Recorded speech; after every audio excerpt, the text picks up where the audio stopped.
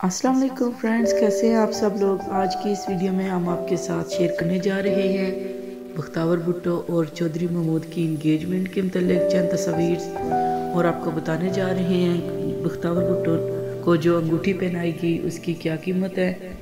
ये सब कुछ शेयर करने से पहले मेरी आपसे रिक्वेस्ट है कि अगर आप मेरे चैनल पर न्यू आए हैं तो मेरे चैनल को सब्सक्राइब करें और साथ में लगे बेल आइकन को प्रेस करें, ताकि शोबिस से रिलेटेड अपडेट्स आपको मिलती रहें।